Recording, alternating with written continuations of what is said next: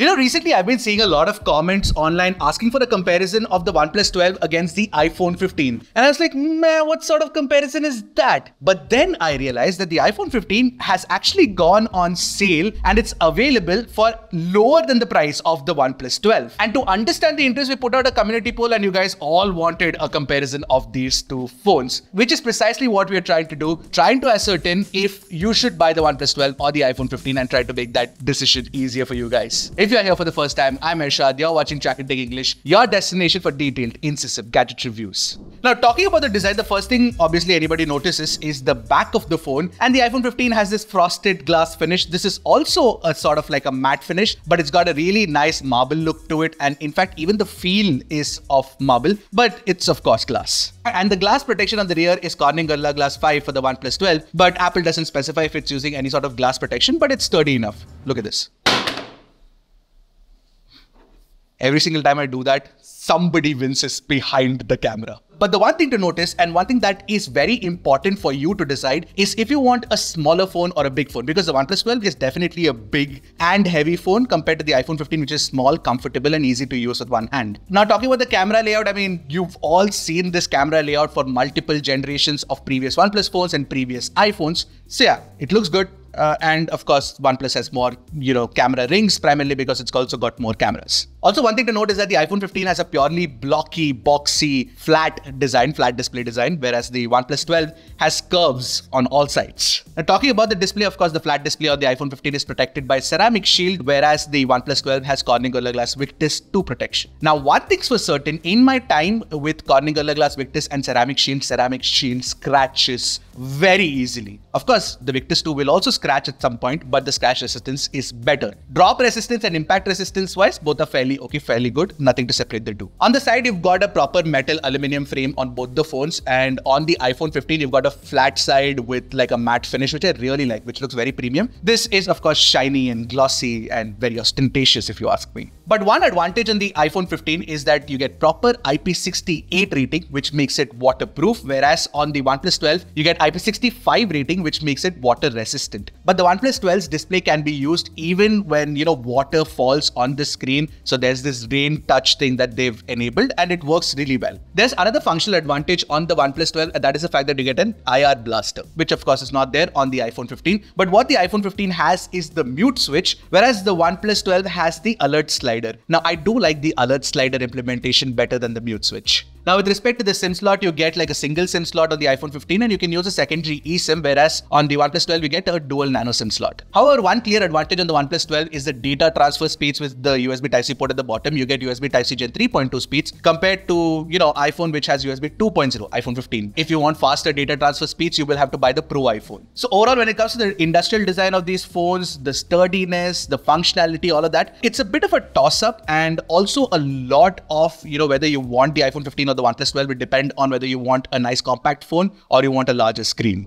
Talking about which, the iPhone 15 has a smaller 6.1 inch OLED display, whereas uh, you know the OnePlus 12 has a 6.82 inch OLED display. Now both these phones also offer that XDR technology where you can actually see HDR content like photos and videos within your Photos app in proper HDR where the brightness is boosted. But the one biggest letdown on the iPhone 15 is of course the fact that you do not get a high refresh rate display. It's only 60 Hz. On the OnePlus 12, we get a 120 Hz LTPO display, which means that it can actually refresh from 1 Hz to 120 Hz. This also helps in battery efficiency. You guys are aware of that. Now, both these phones also support Dolby Vision and HDR10 Plus out of the box, which means that Netflix supports Dolby Vision out of the box and content does look good on both the screens. But brightness is a metric that we definitely must talk about. The iPhone 15 has a peak brightness of 2000 nits, which of course, you know, enables itself when you're watching HDR content. And on the OnePlus 12, it can touch a peak brightness of 4500 nits. But that 4500 number, you guys have to take it with a pinch of salt primarily because it only activates itself in a 1% APA. What matters more, way more, is the actual brightness when you're using the display uh, in real life. Now, without getting into the numbers themselves, when we checked the displays on both these phones outside, evidently the iPhone 15 was brighter uh, under direct sunlight compared to the OnePlus 12. Now, this is a concern a lot of you guys have raised. It doesn't really matter if the phone has 4500 nits of peak brightness. What matters is the peak brightness in daily usage, which is basically when you push the slider or when the auto brightness kicks in under direct sunlight. Now, what also matters is the color accuracy of the displays. And when, when we notice both of them side by side, they're pretty color accurate displays and the HDR tuning has been done very well too. Now, both these phones also offer a stereo speaker setup. We heard them side by side. Clearly, the iPhone 15 sounds richer and louder despite being in a compact body. You guys take a listen for yourself and let me know what you guys think.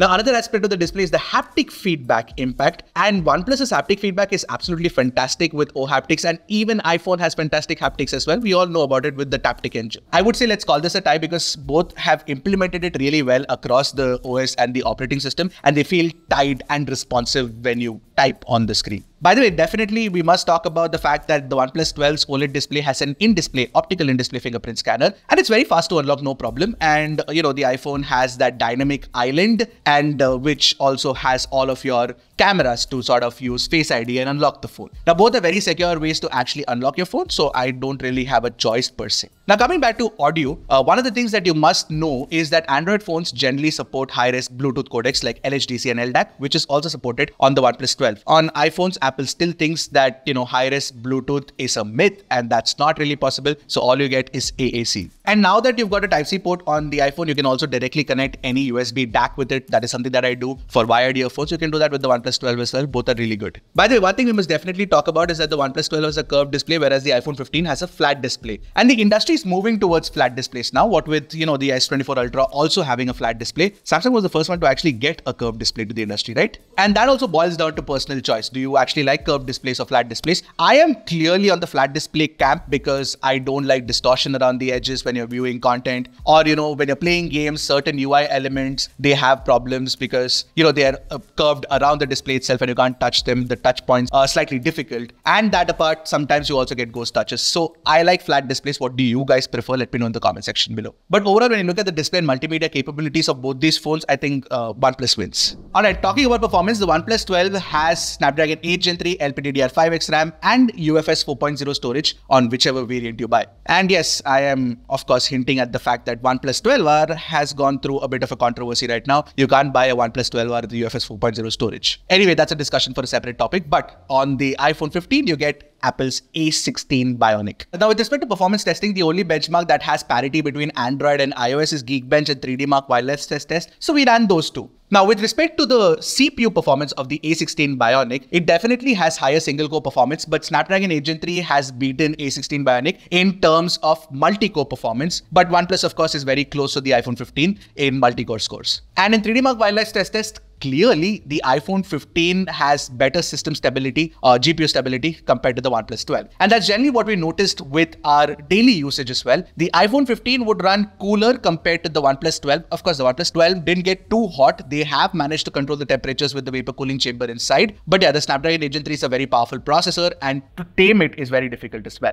Now, with respect to gaming, of course, a lot of people will gravitate towards, uh, you know, the OnePlus 12 primarily because it has a larger screen. Small screens are generally not conducive for gaming. And that apart, the OnePlus 12's uh, Snapdragon 8 Gen 3 also supports ray tracing, which will of course make it future-proof for games. And in games that support it, you also get 120 FPS because you have 120 Hz refresh rate display on the OnePlus 12. The iPhone 15 doesn't. So if you want a phone for gaming specifically, then I think the OnePlus should be the way to go. But that's only in context of these two phones. In fact, if you want a phone for gaming, I would suggest the iQOO 12 instead. Regardless, OnePlus 12 is a good performer, but OnePlus has definitely tuned it so that you get better battery life. And that brings me to the battery life of these two phones. While the iPhone 15 has fantastic battery life, uh, the OnePlus 12 clearly beats it. I easily got 8 hours of screen on time every single time I was using the OnePlus 12 and I was using it, you know, properly, heavily. The iPhone 15 would last me at best about, you know, 6 to 7 hours of screen on time. That about the OnePlus 12 also has much faster charging speeds of 100 watt and it'll charge the phone faster compared to the iPhone 15, that's for sure. And you also get wireless charging on the OnePlus 12 now, so that's again matched with the iPhone 15. So when it comes to battery performance, I think OnePlus 12 wins here compared to the iPhone 15. And if you want a longevity in terms terms of battery life as well, I think one OnePlus would be the way to go. Now, talking about network performance, which is basically call quality or Wi-Fi performance, GPS performance, NFC, all of that, I think both are equally matched.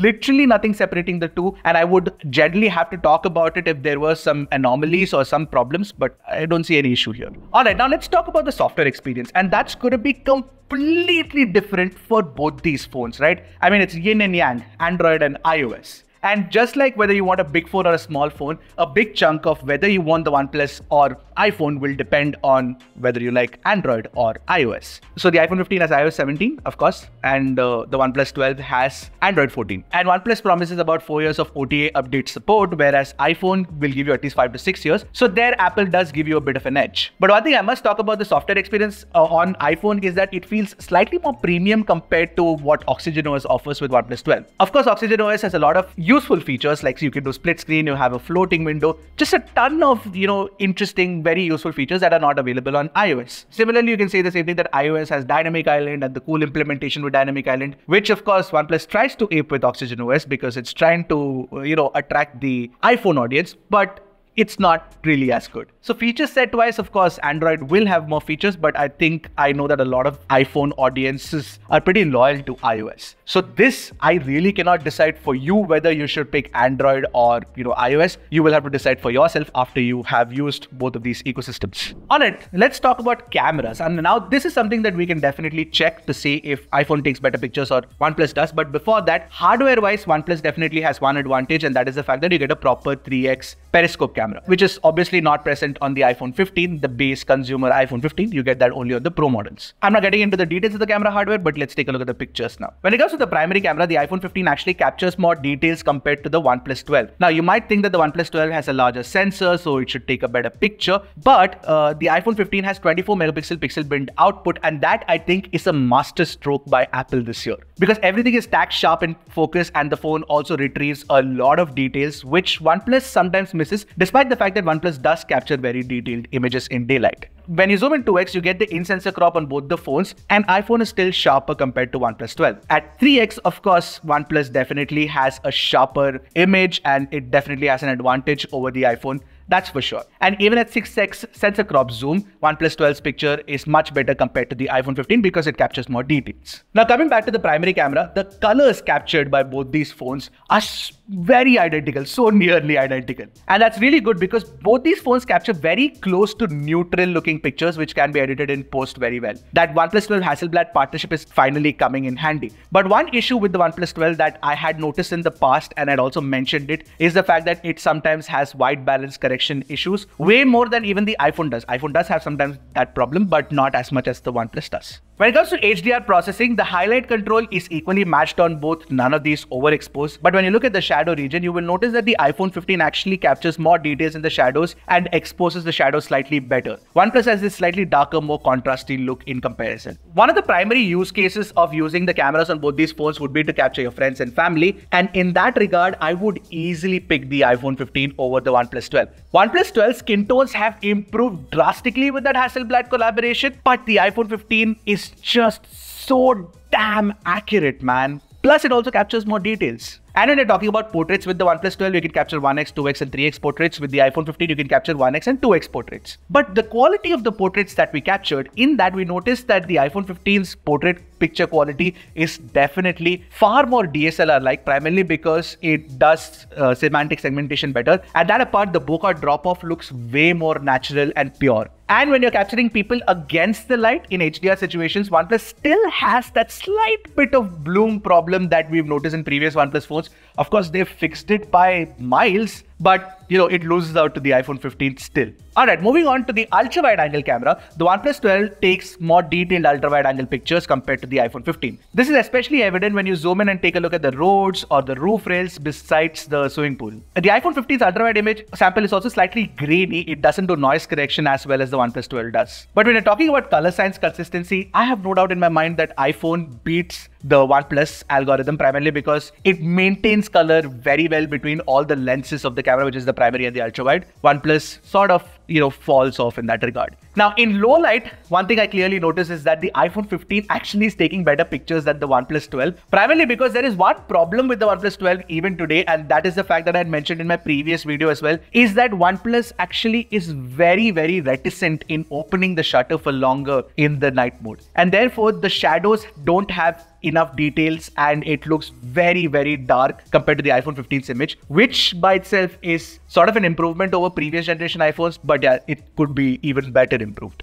On the contrary, the ultra wide angle low light pictures are better on the OnePlus primarily because it has a much larger sensor and a better quality sensor compared to the iPhone 15. Now, in telephoto low light shots, of course, the night mode algorithm comes to haunt the OnePlus 12 once again, primarily because it could have definitely captured more details from the shadows, which it doesn't. iPhone definitely captures more details from the shadows, even at 3x and you know we shot with the optical camera optical zoom camera of the OnePlus 12 at 3x but if you look closely the OnePlus 12 does capture slightly more details but yeah iPhone's low light at 3x is equally matched if you ask me. Alright, talking about selfies, you've got an improved, upgraded uh, 32 megapixel selfie camera on the OnePlus 12 and it does take very good looking selfies. But what we noticed right next to the iPhone 15 is that the OnePlus 12 doesn't capture as much details as the iPhone does, which is very interesting because the OnePlus is a larger sensor, but iPhone does capture very, very good selfies. But when it comes to skin tones, it's a bit of a toss up because we noticed that iPhone veers slightly towards the red with the selfies, but that also depends on where you're shooting and sometimes you do get really close to neutral skin tones like you get with with the primary camera. OnePlus has uh, also very close to neutral skin tones with the selfie camera, but you know, I think iPhone is better. Now, when you're talking about selfies against the light,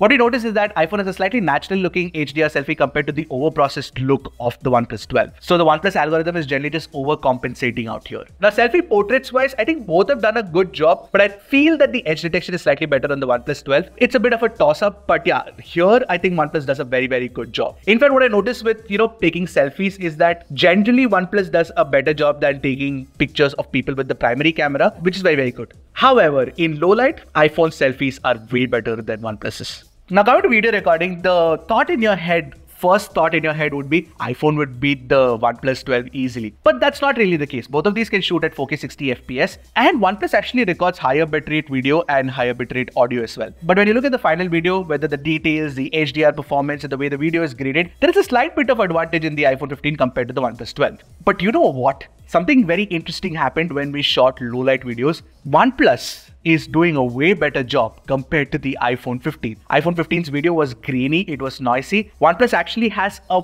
brighter footage as well. Now, of course, if you want to zoom in and capture a video, OnePlus would be better primarily because you can shoot 4K 60 FPS video with the 3x camera. Ultra wide angle video, I think you can take a look at it for yourself. iPhone has slightly higher field of view compared to the OnePlus, but both are almost equally matched if you ask me. Now, in selfie videos, of course, uh, this time around OnePlus does give you 4K 30 FPS video recording option, but you do not get 4K 60 FPS, which is possible on the iPhone 15, which makes it the winner. By the way, one thing I completely forgot to tell you is that iPhone's stabilization is better than the OnePlus 12, especially considering that you get action mode and the action mode tuning has been done fantastically well. And that action mode is at a very high resolution of 2.8K as well. Plus on the iPhone, you get that cinematic mode, there's portrait mode video on the OnePlus 12, but it is not matched to the cinematic mode quality that the iPhone can capture. By the way, you can also record Dolby Vision videos with both the phones, but OnePlus does it at 4K 30 FPS, where iPhone does it at 4K 60 FPS. There is that certain bit of lead that Apple always has over Android manufacturers when it comes to video recording. So overall, when you look at the camera performance and the video recording performance, I think OnePlus is actually very matched to the iPhone 15 in many regards. And it does a good job, especially with the fact that you also do get zoom performance. But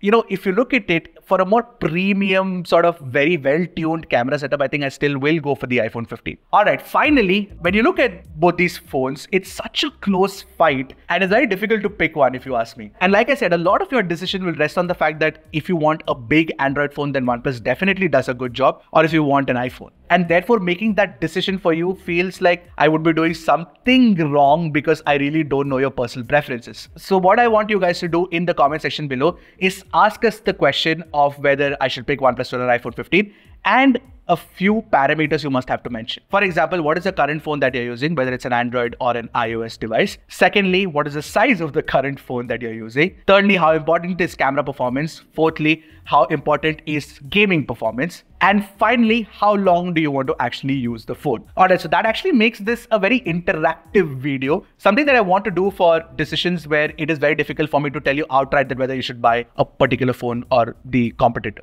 Hopefully this comparison was helpful for you guys. If it us. Of course, do give this video a thumbs up, maybe even subscribe to the channel. We'd love your support. And we'll start working on the next comparison or whatever else we are working on next. And I'll see you guys in the next one. Until then, keep checking and stay safe.